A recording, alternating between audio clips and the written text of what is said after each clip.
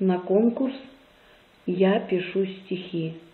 Темникова Виктория Александровна, 6 А класс, МБОУСОШ номер один, ПГТ Тымовская, Сахалинской области. Аллея. Как по ковру я иду по тропинке, тихонько ступаю вперед.